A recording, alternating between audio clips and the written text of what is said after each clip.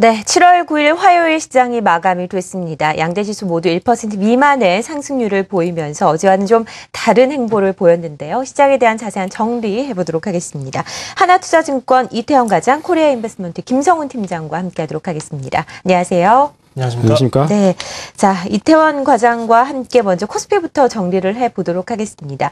이것이 이제 모멘텀이 생겨서 상승을 한 것인지 아니면 기술적인 반등 국면인지 논쟁이 계속해서 있는 상황인데 후자에 네. 좀더 어, 의견이 실리는 것 같아요. 어떻게 네. 보십니까?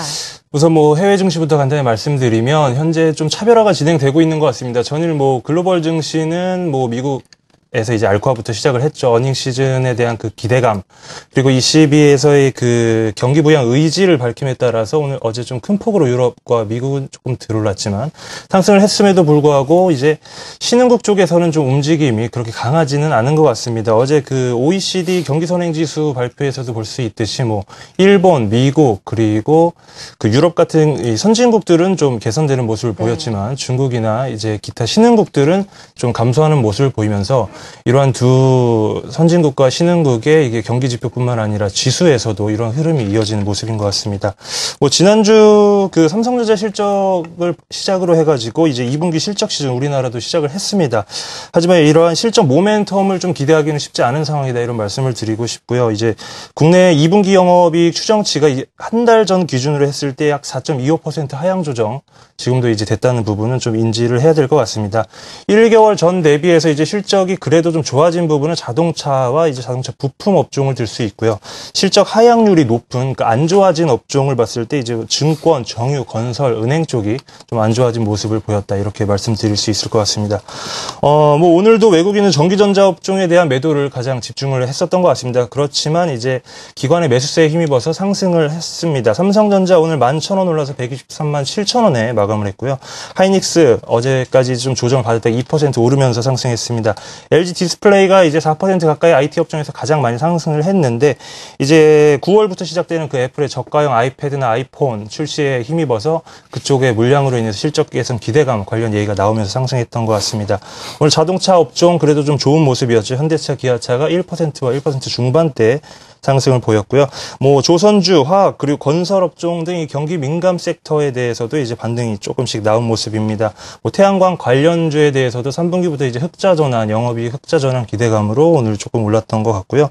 기타 뭐 보험 그리고 유통, 음식료 쪽에서도 이제 상승하는 종목들이 있었지만 뭐 전일 상 하락한 거에 대비해서는 소폭 상승폭이 좀 둔화됐고 거래 대금도 오늘 3조 원 부근에서 좀 이뤄진 걸 보면 아직까지는 좀 기술적인 반등이다 이렇게 말씀드릴 수 있을 것 같습니다. 네, 외국인들의 매도가 지속되고 있는 가운데 IT주들의 반등이 눈에 띄었고요. 경기 민감주들도 어제에 이어서 상승세를 보이면서 코스피 지수의 오름세를 함께 이끌었습니다. 코스닥으로 가보겠습니다. 코스닥도 0.68% 가까이 상승세로 마무리가 됐는데요. 어떤 동향 나타냈습니까?